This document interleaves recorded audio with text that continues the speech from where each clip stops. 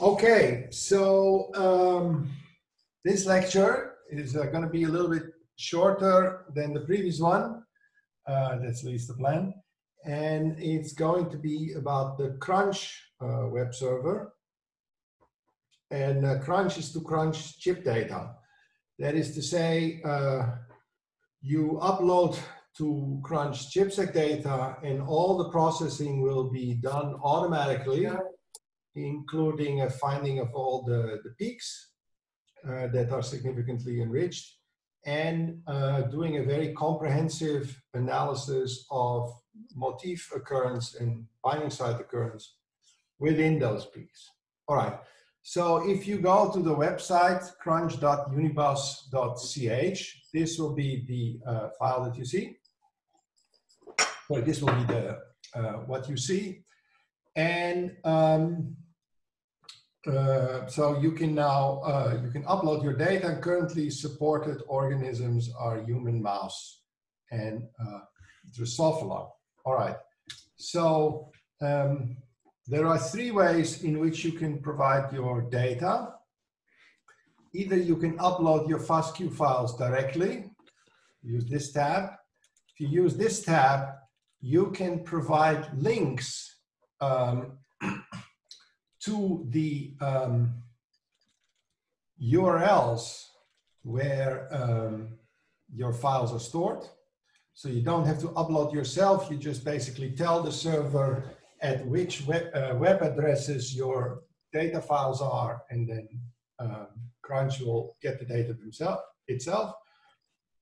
Or if uh, your data is in the uh, sequence read archive, you can simply provide the IDs of the data sets and then also Crunch will fetch it themselves. So as already came up, Crunch would like to get both foreground and background files, where foreground files are IP samples and the background files are input DNA. So by clicking on these buttons, you can uh, specify, you can upload both the IP samples and the input DNA. And uh, this will work similarly with the links where you give separately links to the IP samples and to the uh, background samples. All right. so again, you don't need to set any parameters or something like that. So you just upload your, your data and then you say go. And uh, of course, it's going to take some time. So typically, it's a good idea to provide your email address and a name for your project so that you get automatically notified when uh, the analysis is done. and um, the analysis that Crunch will um, perform consists of three steps. So the first step is really the pre-processing, which includes quality, filtering of the reads, removing adapters, mapping the reads, and estimating how big the fragments were in your uh, data set that these uh, reads derive from.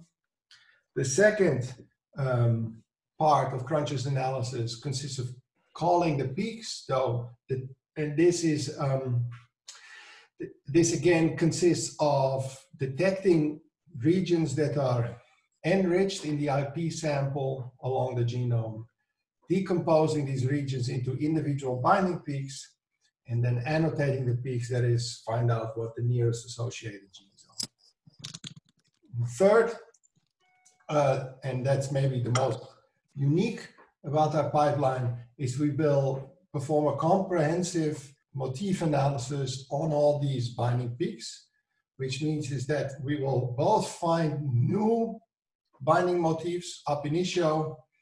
We will uh, also combining these de novo motifs with a library of known motifs. We identify a set of motifs that can together explain uh, your peaks. We will then predict sites for all these motifs and all peaks and uh, finally score and annotate the motifs. Okay, so I'm gonna now basically explain to you what each of these steps uh, does, and then I will um, illustrate what the results look like. So the first part of the pre-processing that Crunch does is to basically truncate low quality three prime ends of reads. So sometimes uh, the quality of the sequence comes becomes bad near the end of the read, and basically um, crunch truncates reads to make sure that all the bases are of sufficient quality. And if the uh, and if after this truncation the reads are either too short or there is too low sequence quality along across the entire read, or there are too many ambiguous nucleotides, uh, or if the read it has very low dinucleotide entropy, that is, if it's all a repeat of A or a repeat of uh, AT, AT, AT, then um, these reads will be filtered out. Okay. Second, um, we Crunch has a library of adapter sequences that are used in sequence protocols, and it will look for matching um, of these three prime adapter sequences to the reads. It will identify the adapter sequence that has most matches, and it will then uh, cut these adapter sequences out of your read. So this is to remove adapters from the reads automatically. After this step, we will do um, read mapping. We use uh, uh, just a standard algorithm to map reads. In, we, we, currently use Bowtie to map the reads after we uh, quality filtered them. And I think the, the only thing that is sort of um, special in what we do is that uh, we only keep the best mappings for each read. So if, if a read can match with, let's say, one or two errors, we only keep the matches with one error. And if there are multiple mappings at the same quality of a read, we will uniformly distribute the, the read over all its mapping locations. Okay, so if a read maps to 10 places, it will assign to each place with a weight one-tenth. Okay, here's just a little picture from a report file that shows what fraction of reads have zero error, one error, two errors as a function of length um, across the read. Okay, so these are all fairly standard steps. It's just that you don't have to worry about these things. Um, Crunch is performing these automatically for you. And then after this, we want to estimate the sizes of the fragments uh, from which these reads derive. So I here, I took these pictures from a, from a paper of Kharchenko uh, in Nature Biotech, some sort of review article, but actually the, the, the idea was published before by uh, uh Philip Bucher and Christoph Schmid a year before this. And this is that if you have a protein bound somewhere on the genome, ChIP-seq, and you get these fragments. So here in red and blue, uh, there are several fragments of DNA that after the sonicating of the DNA, you get these fragments. And when you now sequence, you may sequence such a fragment either from uh, the left on the positive strand or from the right on the negative strand. So in red, a positive strand reads that come from this uh, five prime end, uh, so, sorry, it's both five prime, but comes from this left end and here in blue are negative strand reads that come from the other end of the fragment. All right, so now when you have such a protein somewhere on the DNA, then you, so you're going to get one set of reads that are coming from left ends of fragments, and they will make a peak here. And on the opposite strand, you will get one set of reads that makes it uh, a peak that is shifted on the chromosome. And the shift between these uh, reads on the plus strand and the reads on the negative strand is exactly the average fragment size. Okay, so that means that whenever you have a binding peak, you're actually going to get two sets, two peaks, one on the plus strand and one on the uh, minus strands that are shifted by fragment length. So you can use this fact to estimate uh, fragment lengths and to basically also estimate the center uh, of each fragment given um, a read either on the positive or the negative strand. And the way you do this is by looking at the cross correlation between the occurrence of reads starting on the plus strand and reads starting on the minus strand shifted by a certain distance. Okay, and then the, the place where this cross correlation is biggest is an estimate of the size of the fragments. All right, so Crunch does this, and um, so here's a picture for a data set of what this um, cross-correlation profile looks like, and it has here a peak at a fragment size of 137, so Crunch estimates that the fragment size is 137, and then it repeats, it, sorry, it replaces every read with a, a mapping to the estimated center of the fragment. All right, so reads on the plus strand get shifted forward, reads on the negative strand get shifted backward. All right. So this was the pre-processing step. Um, the next step of the protocol consists of peak finding. And uh, so this is again a picture that I took from a, from a review article. That the general idea is that you slide a window over the genome and in each window, you look at the density of reads coming from the IP sample, and you look at the density of reads coming from IP, sorry, from the input samples.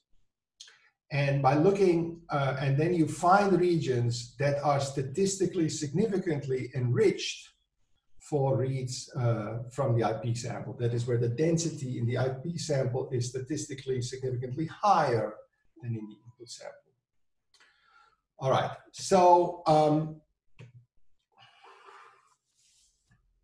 what Crunch uh, follows the same protocol, so it slides a window across the genome and then it collects all windows over a significance threshold and it fuses consecutive windows that are all across the, uh, the threshold into enriched regions. Okay, so now one very important um, feature of Crunch is that the statistical model we use for uh, detecting enriched regions. So this is what I'm gonna explain to you next. Uh, but before I get to that, um, we've noticed, um, and we're not the only group that has noticed this, that um, there are some regions in the genome, it's a very small fraction, but there is a fraction of regions in the genome that have very high read density even in the input. Okay, so in principle, in the input DNA, you should get a roughly constant uh, density of read across the genome.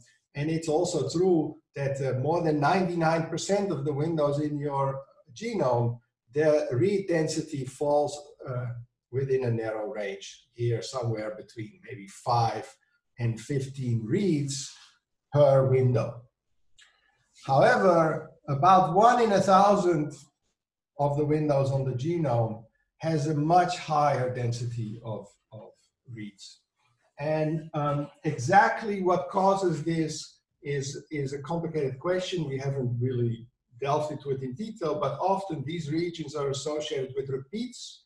They are regions that poorly align across genomes. So if you try to find orthologous uh, regions in other genomes of those regions, it's, it's hard to do. And we think what is going on is, for example, that there are all these repeats that exist in different copy numbers in different genomes. And the copy numbers that are actually in the assembly might not actually match the true copy numbers of repeats that occur in the genome from which your data derives. And so there might be some repeat that is repeated a thousand times in the genome from which your data derives, but only 50 times in the assembly.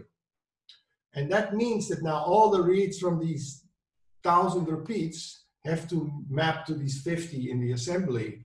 And so now you get a 20-fold enrichment of reads in those regions. So those, these regions are difficult because the statistical model that we're going to use to detect enrichment doesn't apply to those regions. Okay, it breaks down. And so what we do is that we filter these regions out beforehand.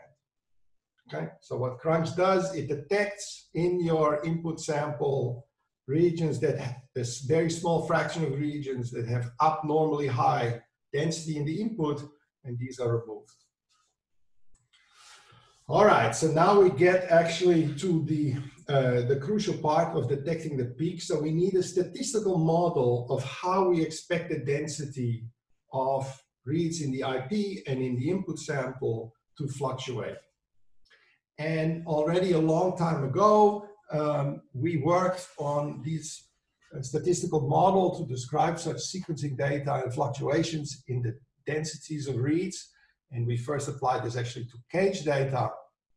And what we found is that the fluctuations can be very well described by a statistical model that has multiplicative noise, that is to say, a, a log normal fluctuations in density, convoluted with Poisson sampling noise due to the sequencing.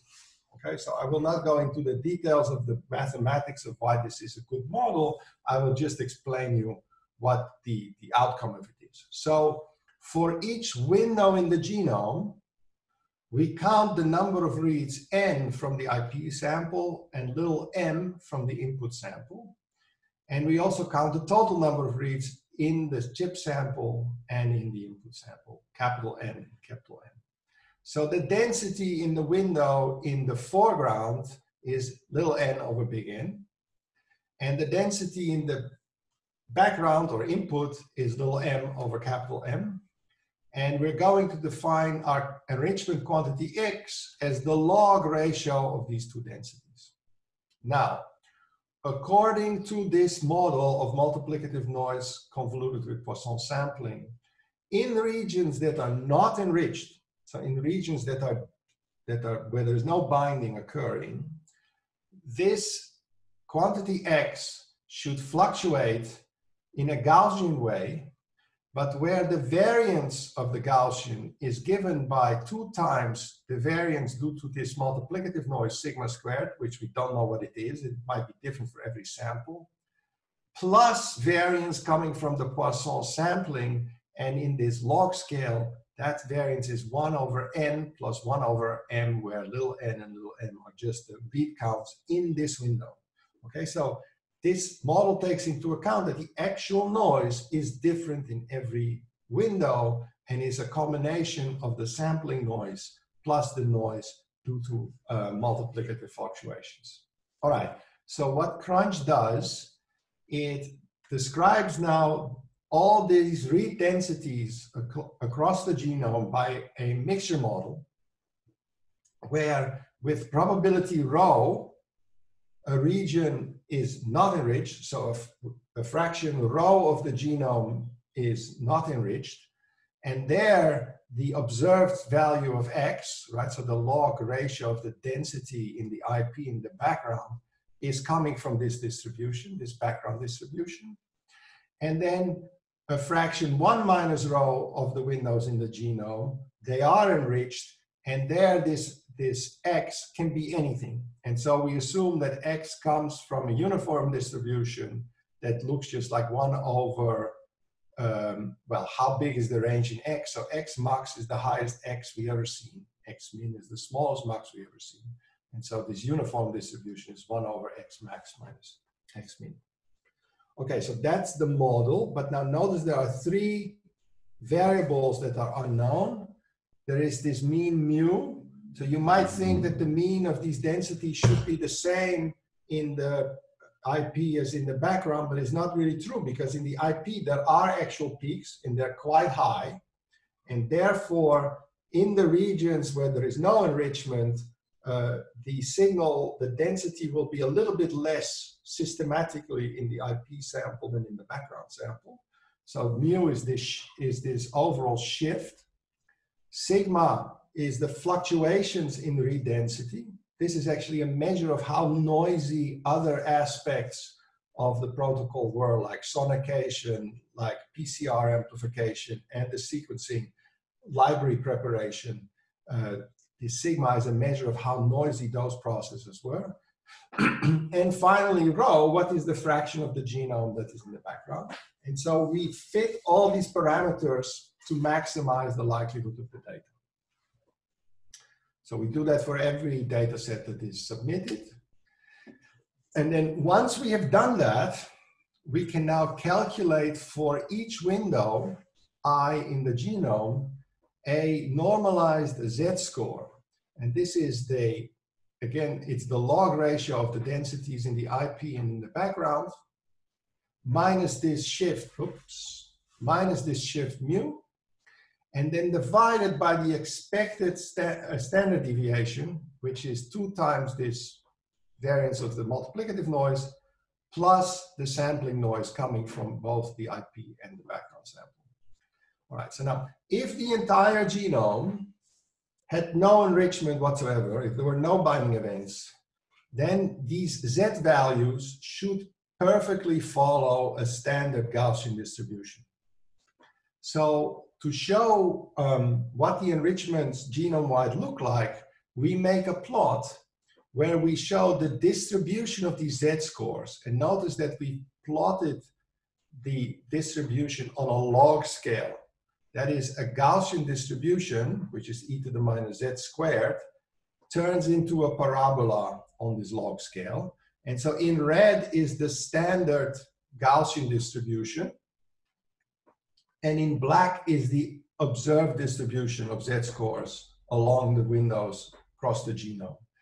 And you see that the black line follows very well this perfect Gaussian distribution until you get to a z-score of about four or something. And there you see that there are all of a sudden many more windows with high z-scores than you would expect under this uh, random distribution. And those are in fact the windows that we will now call as having significant enrichments. Okay, so this plot shows two things. First of all, it shows that the statistical model is successful in capturing the distributions of fluctuations that you see genome-wide. And second, it gives you a systematic way of setting a cutoff to call which are the windows in the genome that are really significantly enriched.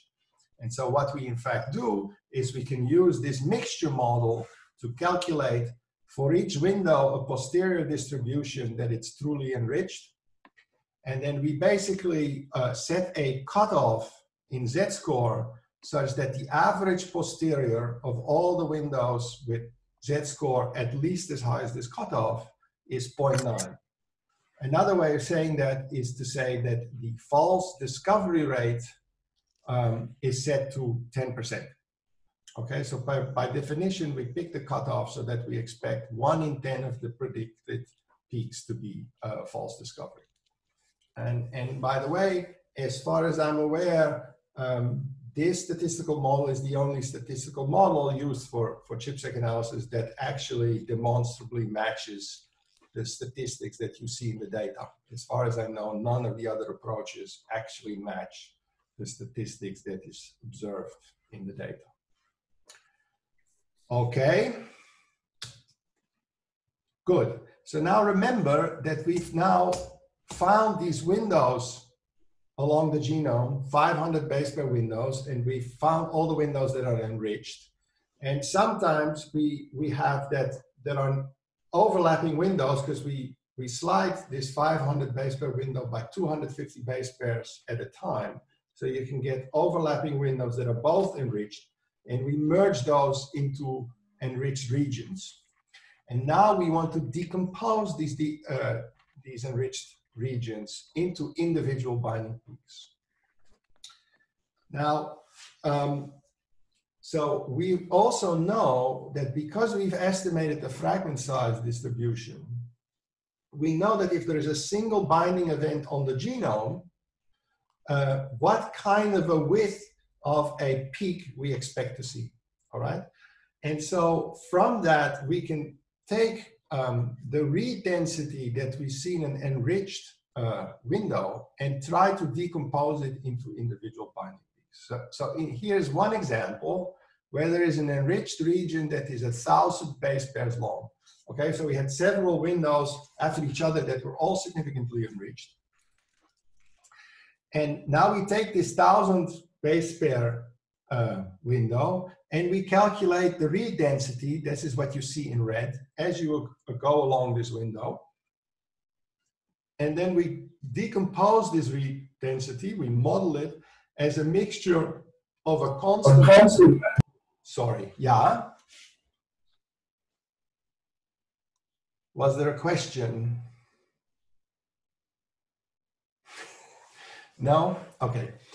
Um, we model this read density across the, the window as a mixture of a uniform background, together with a set of Gaussian shaped peaks whose width is constrained by the known width of the fragment size that we have estimated previously.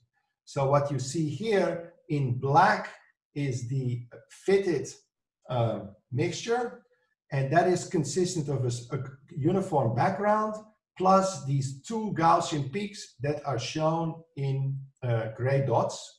And so in the end, we call two peaks in this window uh, consisting of this blue and this green region. And then we recalculate a statistical significance. We recalculate the z-score for the green window and the blue window. All right, so in the end, the peaks that we report are these individual binding peaks, and they're typically fairly short. short. So you see here, uh, they're sort of 80, 85 base pairs wide. All right, so um, the first thing that um, Crunch will now report is a sorted list of all the peaks uh, that it's predicted on the genome. Of course, you can you can download this file and, and print it out. And so for each peak, it gives you the genome coordinates, it gives you the z-score of this peak, it gives you the closest gene to the left of the peak, together with where that gene is. So this gene transcription start site of this gene is 124 base pairs to the left of this peak, and that gene is transcribed on the minus strand. And the nearest gene on the right is this gene. It is only, its transcription start site is only 40 base pairs away, and it's uh, transcribed on the plus strand. All right. Um, all right. Now, uh, I, I, there's some slides that I thought were there that I do not see now, uh, but in this case too, you can actually click on, um, you can click on this link and then you will see a, um, you will be taken to the genome browser and you will see um, let me see. Well, I'll get, I'll get back to this. All right.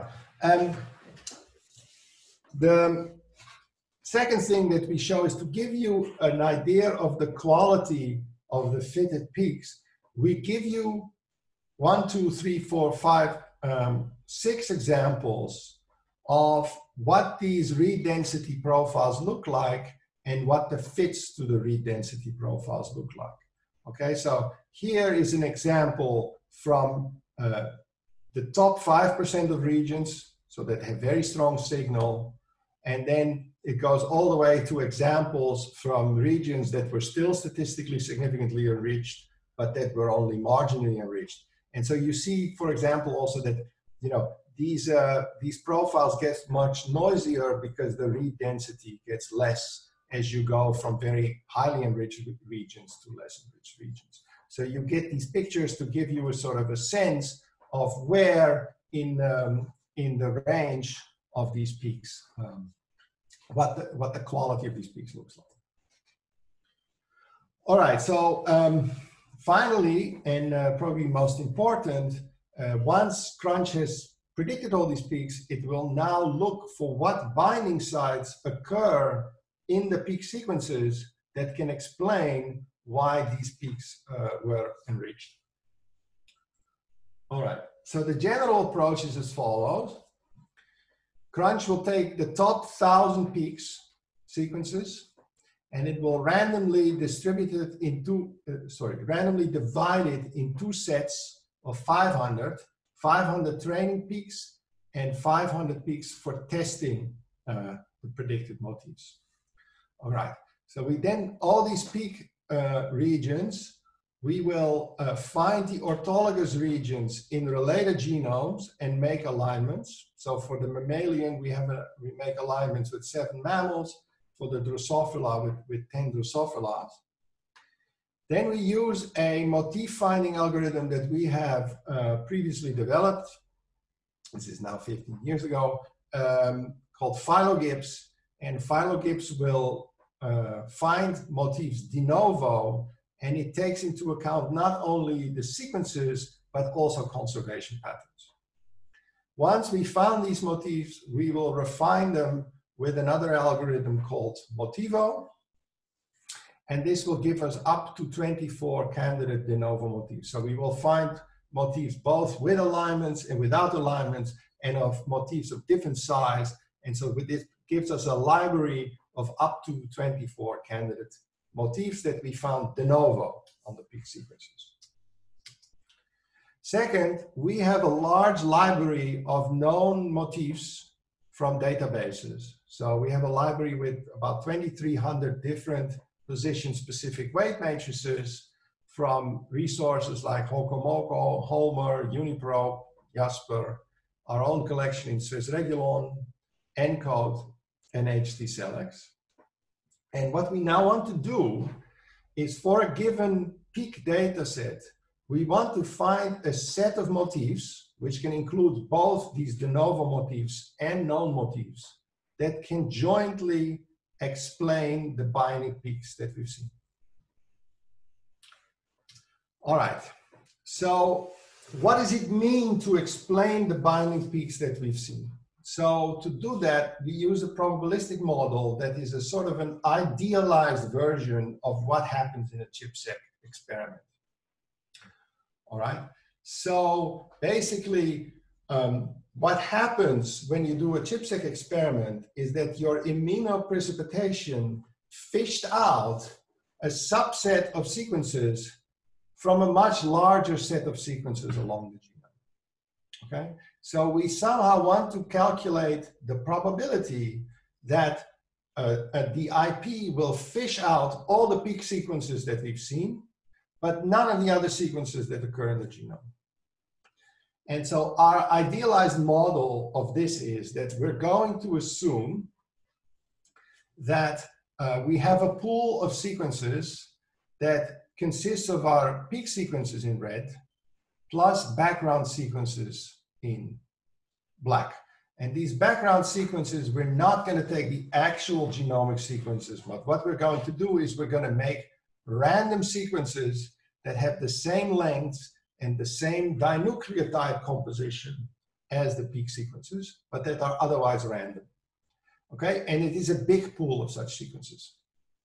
And now, given a set of motifs and the concentrations of the transcription factors representing these motifs, you can now calculate the expected number of transcription factors that will be bound to each of these sequences.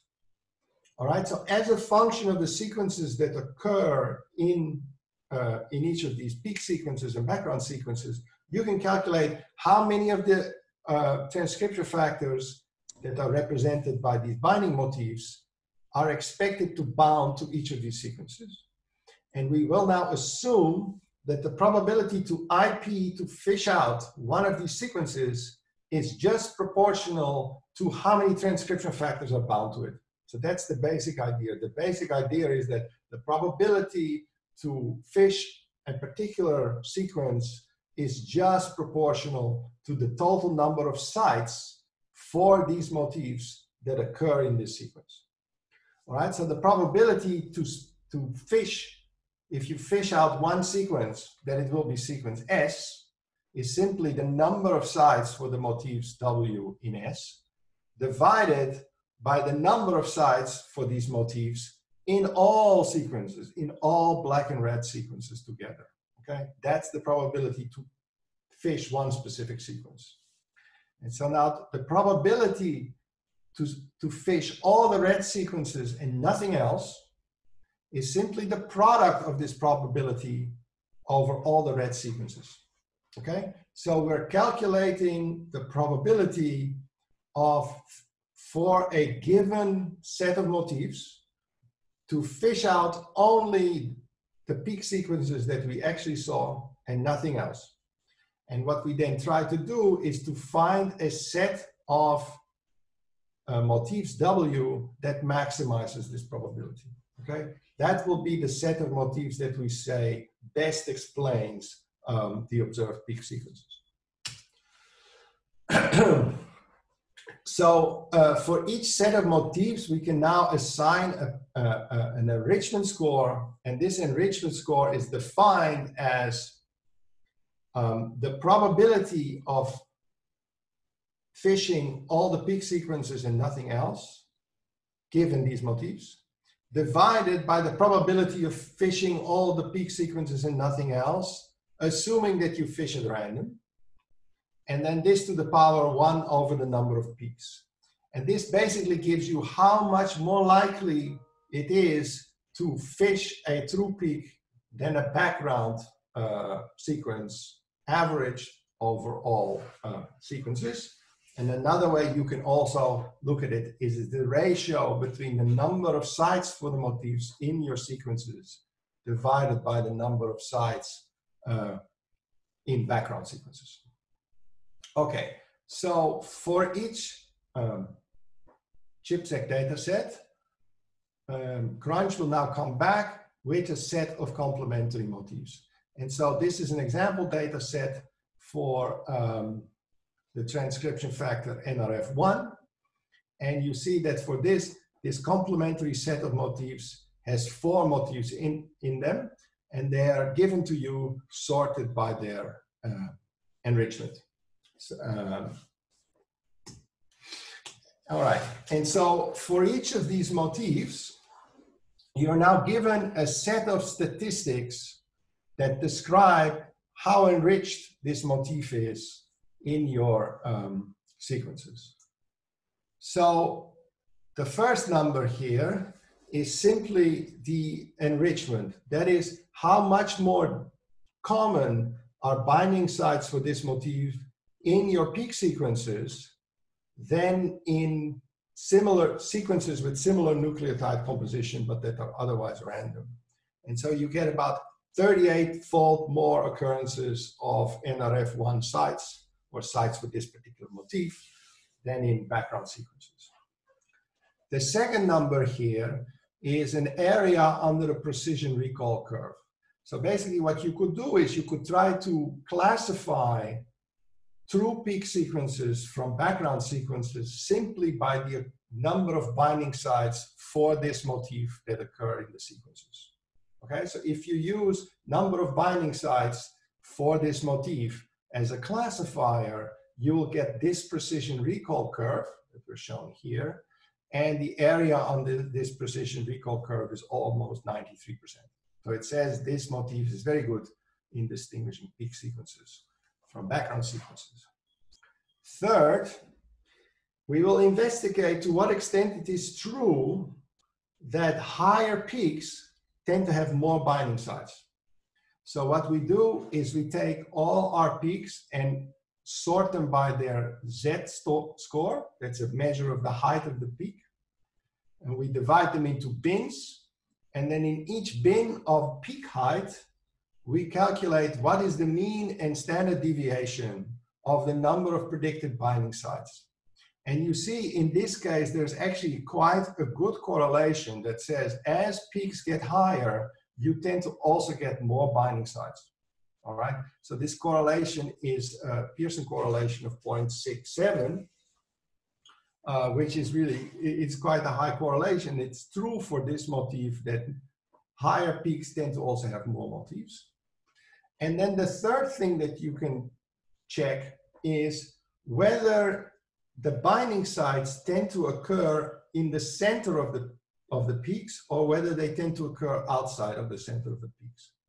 Notice that if binding sites occur near the center of the peaks, they will occur in those uh, sites in, in the enriched region that have the highest chip signal. So what we look at is the distribution of the chip signal at predicted binding sites relative to the distribution of the chip signal in the entire piece. And that is here given in green and blue. And you see for this motif, there are nine times, the chip signal is on average nine times higher at binding sites than it is outside of binding sites in the peak. Okay? And then finally, we also just tell you what out of all 9,227 peaks, almost 4,000 um, had binding sites for NRF1. Okay, so for each motif, you get these kind of uh, information. Um, so um, the way we now uh, create an optimal complementary set of motifs is um, we start with the most highly enriched motif, and then we iterate the following procedure. So for each of the remaining motifs, we add this new motif to our motif set and now calculate an enrichment for the new set of motifs, that is our original motif plus now this new motif W prime. And when we select W prime, that maximizes this enrichment. Okay, so given that we started with one motif, we now ask for a second motif such that if I sum together the sides of both motifs, I now get uh, the strongest enrichment. And I keep iterating that, adding one motif at a time until this enrichment increases by less than 5%. And so for this particular example, this is the ATF2 dataset from um, ENCODE. So the best motif was a, a, motif that was found de novo that had an enrichment of only 1.8. But when you then added a second motif, this is a motif for CREB3, the enrichment went up to 2.75. Another one, it went up to 3.3. And finally, with this fourth motif, it went up to 4.2.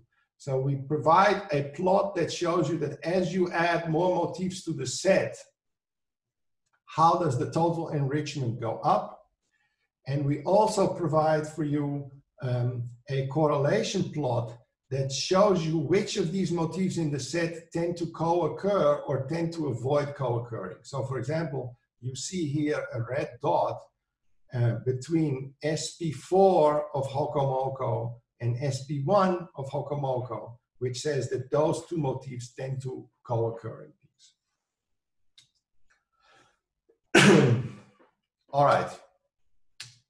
So um, you can uh, explore yourself what the results of uh, crunch looks like and um, you can um, for that we've made available a large number of results on uh, ChIP-seq datasets from the ENCODE project so if you go to the start page and you go here to the top left to the ENCODE uh, reports link you will get a page with a long list of data sets.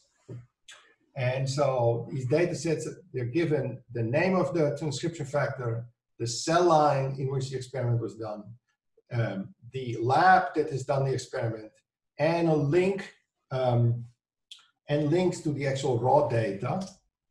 And so uh, to illustrate for you the results, I took the results for the BRCA 1A transcription factor done in the GM12878 uh, cell line by the group of uh, Mike Snyder at Stanford. Okay. So the crunch report at the top has basically a menu that allows you to guide to the different parts of the results. So quality control, peaks, motifs, uh, set, top motifs, and downloads and um, you can use those to navigate.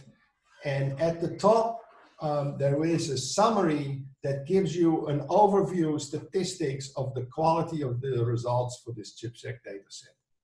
So it will tell you what fraction of the reads in the IP sample map was successfully mapped. In this case, that's almost 86%. And now comparing across all ENCODE data sets we have, this is about 150 data sets or so, we see that this is quite good. So this is sort of 73rd percentile. This is better than average. Fraction of map, uh, reads from the background samples, input samples that were mapped 89%. Okay, that's 78 percentile. Then next, remember that when we fitted our mixture model for the peaks, all right there was this there was this um, quantity sigma that tells you how noisy was the read density as you went along the genome So that was fitted for this data set.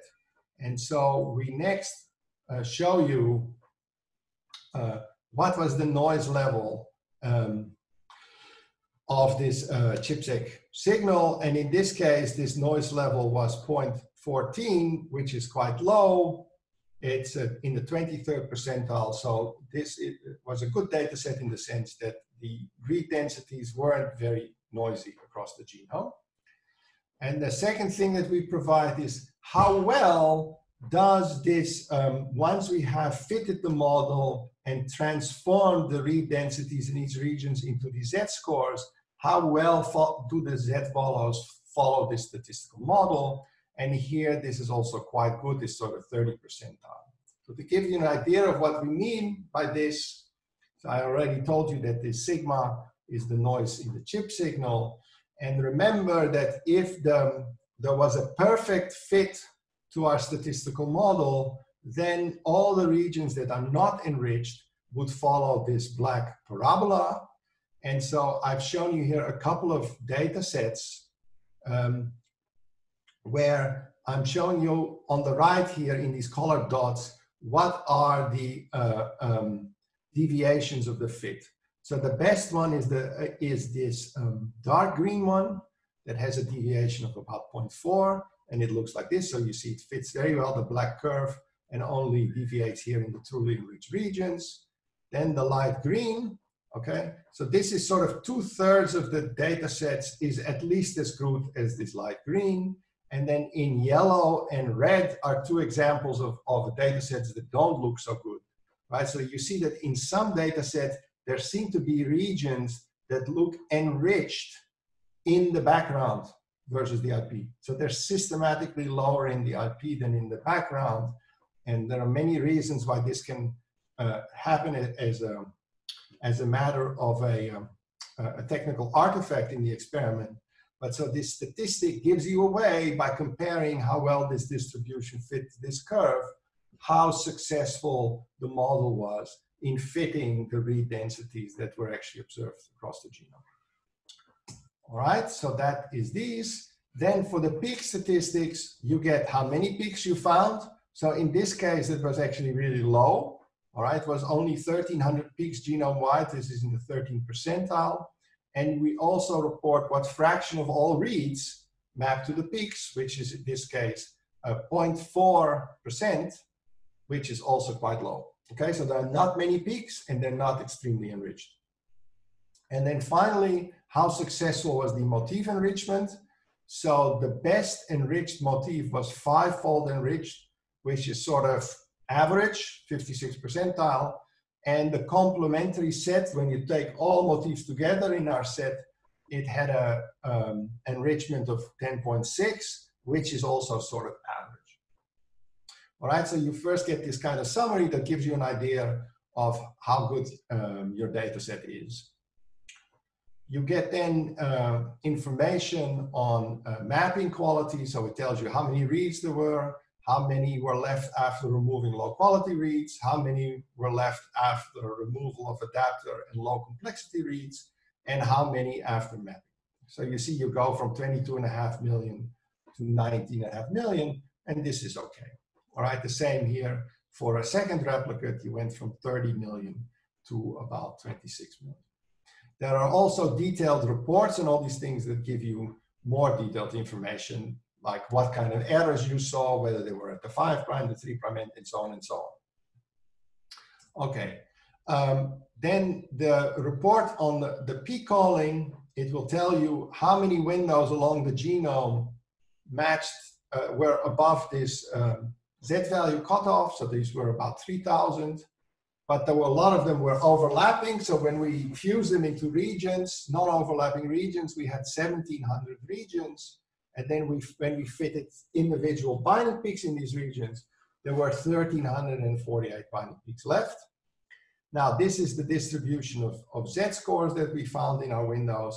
This actually fits uh, quite well the um, um, predicted standard Gaussian curve. And so again, the truly enriched regions are over here. Here is the reverse cumulative distribution of Z-scores. And the red line shows you where we put the cutoff. Okay, so here are examples of peaks fitted to these enriched regions, right? So in many cases, you will find only one uh, statistically significant peak, right? So both here and there, we fitted two Gaussian peaks, but one of them was basically not sufficiently uh, significant to make it in the final report. And so in both these cases, only the green peak made it in the end. All right, so list of annotated peaks. Um, I showed you this before, and so let's now go through what the meaning is of all these columns. So first is the location on the genome of the peak. And uh, now I get to see what I wanted to show you. So if you click on this link, you will actually be taken to the genome browser. And notice, right, that this annotation already tells you that uh, to the right, 45 base pairs only to the right is the start of a gene called DENR, whereas on the left, it is 22 kilobases to the nearest gene. Okay, so if you follow this link, you will take it to the genome browser and you will see that the yellow region here is actually the peak region. And because this overlaps a promoter, so here you see a known promoter from our promoter annotation, this is a promoter of the gene DENR, and these are the binding sites um, predicted uh, in SwissRegulon uh, in this promoter. Okay, so the second column is the Z-score of this peak, basically how high it is, nearest gene on the left, distance to this gene, nearest gene on the right, and distance to the TSS of that gene. All right, and all this information you get, of course, for all peaks, and uh, they're available in a flat file. These were the complementary motifs that were fitted for this BRCA1. So we, we found a set of two, four, six motifs. Um, they're here sorted by the size of their contribution. So this motif was put first. It was a de novo motif It was found new. It had an enrichment of 5.3. When the second motif was added, it went up to 8.5 and so on. Um, so it shows you under this table, you get plots that show you how this enrichment went up as more and more motifs were added. And in the right panel, correlation of the occurrence of these motifs in the same peaks. And you see that for this set of motifs, there is hardly any significant correlation of motifs occurrence. It looks like these motifs are occurring independently of each other. All right, now for each of these motifs, you can click on a link and you will get taken to more information about this motif.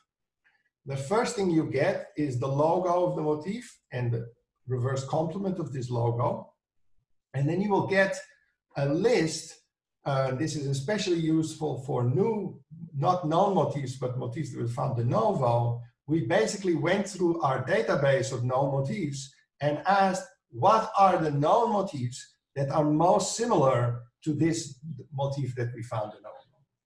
All right, so here is this list together with a distance metric. This is basically sort of what, how much percent difference is there between this motif and each of these motifs. So this one is a 3% difference, right? This one at 6%. And logos of these motifs. And you see, if you look by eye, then these motifs look indeed very similar to the motif we found. Uh, so we find that this novo, the novo motif is close to a motif that's called GFX in Homer, to a motif that's called UA1 in ENCODE, a motif that's called ZBTB33 in Homer, another motif that's called ZBED1 in HT-SELEX, and a motif that's called Kaiso in HOCOMOCO. Now, I can tell you that it is now known that the transcription factor that binds to this uh, motif is in fact called Kaiso. That's the name of the transcription factor that, that binds to this uh, motif. And this UA1 motif of ENCODE is also just a motif for Kaiso. All right, so that's one piece of information you get. Um, and then uh, I already showed you these other statistics about um, the motifs. So you get the precision recall and the correlation of how many, how high is the peak and how many sites for the motif, and how much uh, enrichment at binding sites relative to the rest of the peak region, and in what number of the peaks does this motif occur. And notice that for almost all these guys, uh, the motif occurs only in sort of half of the peaks. Okay, so this is actually also with quite common that, that often your peak set cannot be explained by a single motif. You really need a set of multiple motifs to explain all your peaks. All right, so finally, um, at the um, at the end of the uh, report is a whole set of files for download. So you can download the complete report. So that is all the HTML files with all the links and all the downloadable files. You can download flat files of the peaks. Often you uh, want those. And by the way, this is important that I uh, forgot to mention. So we will also annotate for each peaks where the binding sites occur for each of the motifs in the motif set. All right. So um, um, this complementary motif set consists of six motifs. So we then went with all these motifs through all the binding peaks and annotated where sites occur for each of these motifs. So if you download the peak set, you will get um, also annotations in there of where binding sites occur for each of these transcription factors. All right, so you also can download PDF reports with more details about the statistics of the peak calling and the motif analysis. You also get for each data set that you uploaded a WIG file. So a WIG file is a file that you can upload to a genome browser that gives you the density along the genome and that you can use to yourself now um, look at the peaks we predicted and actually look at the profiles yourself in the genome browser. Similar, it also gives you bed files with all the mappings. This is if you just want to have uh, the mappings and also reports on uh, the mapping for each of these replicates. All right, so I just want to close with uh, a couple of remarks. Um, first, mention some things that we noticed when we were analyzing these ENCODE data sets. So one of the things we noticed is that for some set of, of transcription factors, you find only a single motif. And for another set of transcription factors, you really need multiple motifs. Okay, so uh, if you ask how much extra info, once I've put the top motif, how much extra information is there now in uh, adding more motifs, there is a whole set of transcription factors where there is essentially no more information that you can add. It seems that the binding peaks are described by just a single motif for a single transcription factor. But this is true for about maybe one third of the data set. For two thirds of the data set, there is either a moderate amount or a large amount of extra information that is contained in other motifs. So it seems that transcription factors sort of naturally separate into some transcription factors that can define peaks all by themselves and transcription factors that are only defined by a whole group of motifs. All right, a second thing that we noticed uh, that we thought is actually quite um, striking, I also, I thought this was actually quite striking, is that um, in these large collections of motifs from different databases, you get many motifs that look very, very, very similar. So I just want to show you here an example of the top five library motifs for the transcription factor max from two different experiments, okay? So there were experiments done with the max transcription factor in a HeLa cell line, and there were also experiments done, ChIP-seq, in the GM12878 cell line. And I'm just now showing you the top five motifs that Crunch found from the ChIP-seq data in HeLa cells and here from the ChIP-seq data in GM12878 cell lines. Now, if you look at these sequence logos by eye, they all look identical. Okay, you see the CAC GTG, Okay, maybe the height of the letters is a tiny bit different, but these look very, very, similar. And these are indeed uh, motifs from different databases for the max transcription factor. This is from HT-Selex, this is from HOCOMOCO, this is from Swiss Regulon, uh, this is another HT-Selex, and this is another one from Swiss, from Swiss Regulon. And even though these motifs look very, very similar, if you let Crunch analyze the data from two different cell lines, they come almost in the exact same order. Okay, so even though they look extremely similar, this HT-SELEX max motif came out on top in both cases. All right, and uh, here the numbers two and three were flipped, but the numbers four were also, and the numbers uh, five. So out of the top uh, four, five sequences, the top four were essentially the same as in both cell lines. So it really looks like uh, you can use this analysis to tell apart subtle differences between these motifs. So we find this kind of consistency uh, across most of the transcription factors that were analyzed in multiple cell lines. Okay, so those were two um, elements and, uh, sorry, those were two observations. And then finally, I want to uh, close with telling you something about what we're currently doing and hoping to put out uh, soon. So as you've seen, Crunch is a automated pipeline to essentially take one uh, experiment of IP with some transcription factor plus some input DNA and to find basically all the places in the genome where the transcription factor binds and then report for you which motifs occur among these binding peaks. All right. But in many cases, and I, some of you already brought this up in the morning, you're interested in comparing ChIP-seq data across different samples. So, so you might have uh, the same transcription factor in different tissues or at different time points in development, or maybe you're not looking at a transcription factor, but you're looking at just chromatin accessibility with a, a or with DNA-seq, and you're interested in comparing this across a number of samples. So we've been actually been working on that. So Anna Kramer, in my uh, PhD student in my group, has been working on integrating Crunch and MARA to do this kind of analysis. So we call this uh, CREMA for cis regulatory element motif activities.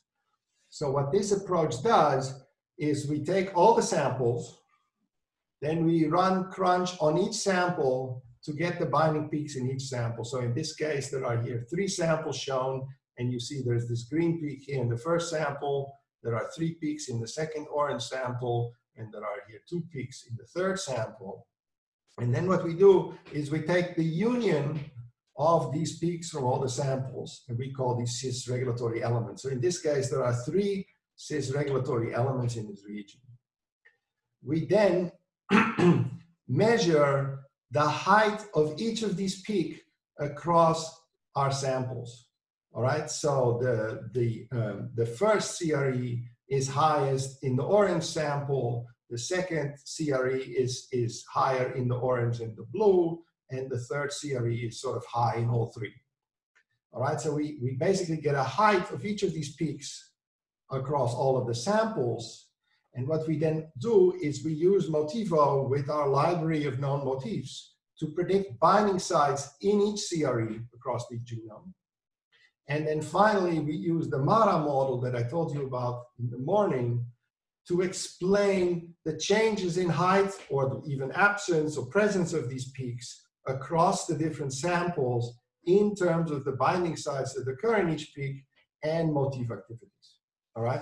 So this is something that is sort of now uh, close to, to, to ready to share. Uh, at the moment, we you cannot uh, run this yet online, but I'm telling you that this is something that is uh, coming soon, and then you will be uh, able to sort of integrate the crunch and MARA analysis and look at sort of motif activities in driving either accessible chromatin or transcription factor binding genome-wide across a set of samples. All right, so with that, I've come to the end. Um, I just wanted to acknowledge the various people that have uh, helped developing this pipeline. I mean, this pipeline, it, it, took quite a number of years. It was something that we were just running in the lab in our group for a while. And so there's a whole number of people that contributed parts of the processing. And so, for example, Nick Kelly and Sylvia Salatino, they all, they both contributed scripts to the pre-processing. Uh, Saeed Omidi helped setting up a, a, general pipeline for combining all these things together. Phil Arnold was, uh, he developed the first version of the peak finder and he also um, was the main developer of the MotEvo algorithm, so Mikali you already heard about. And then uh, I had a, a, extremely talented master student called Severin Berger, uh, who actually then put the whole pipeline together and made this all into an integrated um, system where you can now simply upload your FASTQ files and all this analysis is done automatically. All right, so with that, I've come to the end and I would um, invite you all to um, ask questions if you have questions.